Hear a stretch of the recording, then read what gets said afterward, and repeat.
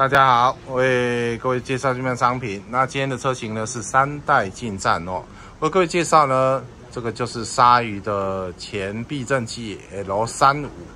哦，然后倒插的一个顶级的电子的一个版本。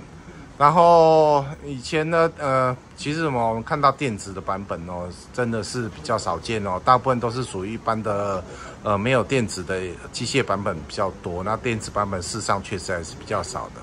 那我们就有镜头来看一下，那基本上呢，一样前上三角台也是要换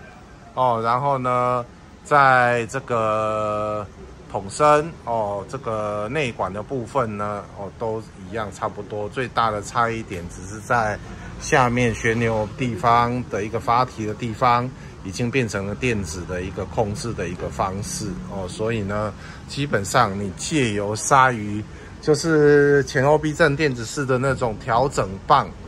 哦，就可以呢做一个细部的一个调整哦，你可以直接借由这个调整棒的设定呢。哦，来变更你所需求的一个阻尼上的一个调整，以及回馈的上的一个调整。那我们看一下哦，这组呢，呃，已经有一阵子了哈。那我们再看它的鲨鱼产品的一个细节。那我们光从一个外观来看，我们鲨鱼的阳极的部分哦，这个使用上呢，在大概经过一年多的这个时间呢，我们看它的阳极的使用。哦，还是非常的鲜艳哦，它的黑色还是非常的黑。那更难能可贵，我们看一下它的镀金内管的部分。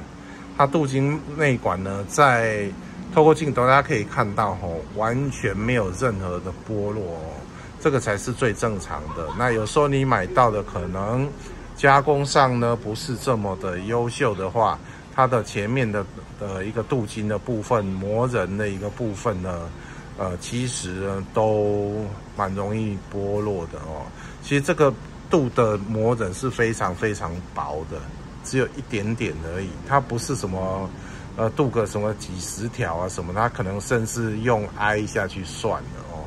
那确切的膜忍的数据我并不是很清楚。那因为麦克叔叔以前我做过真空建度的一个部分，所以对这个部分呢还是稍微有一点了解跟知道。那最后呢，呃，当然最不同的还是在这个呃阀体这个调整的一个部分呢，我们可以省去用手工具调整的一个方式，直接用调整棒就可以做对于阀体做一个调整，调整阻尼的一个部分。但我们换一个角度来看。哦，看一下它的这个卡钳的部分。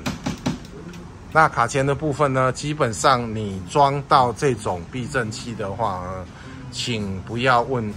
有没有原厂的卡钳哈，因为呢，装到这种前叉避震器的话，不会去用原厂的卡钳的哦。其实用到对视都已经是，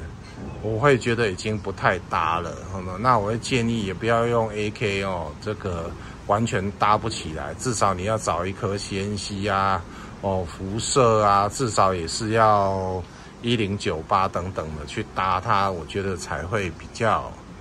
呃，比较有匹配的一个感觉。然后，毕竟用到这种东西了哦，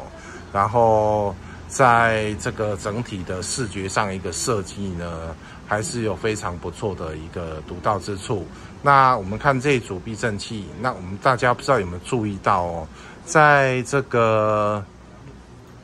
整体的一个设计上，它跟 T 二八很像哦，它是以轻量化为为重点哦，它不会有很多余、很累赘的一些东西在上面，它都是尽量很简单，筒身、阻尼芯还有下座，那下座呢基本上都是比较集中化以及比较极小化。哦，这样可以减低簧下的一个重量哦，这个我相信也是在鲨鱼的这个考量设计范围之内哦。然后整体来说，呃，当然如果你口袋够深，你就选择了这个，呃，电子的一个版本。当然呢，如果你不想花这个钱，或者说你停车的地方哦比较没有这个呃安这么安全，那我建议你就是机械式的也非常的不错。哦，也非常的不错。那当然，青菜的货各凭自己所需求跟喜好，最重要是看你自己的预算跟以及喜好来决定这件事情。哦，当然，那整台车配起来都是有相当的一个呃，这个不管是在视觉上还是在性能上都有非常棒的一个呃方式哦，可以让你自己做选择。那大家希望朋友们参考看后大麦克仓库机的精品来做个选购，谢谢大家。